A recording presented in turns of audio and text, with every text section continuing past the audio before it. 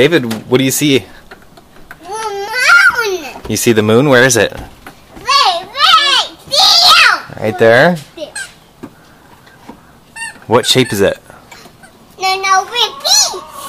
Yeah, a piece of the moon. It's just a piece. Is it a crescent moon? Yeah. No, it's not. A crescent's more curved. Could more curved than that? Yeah, more curvy. Okay.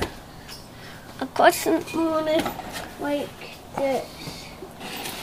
It's a little more curvy. A crescent moon's almost like this. Oh, okay. Like more curvy, you're saying? Yep. Got it. A little more curvy.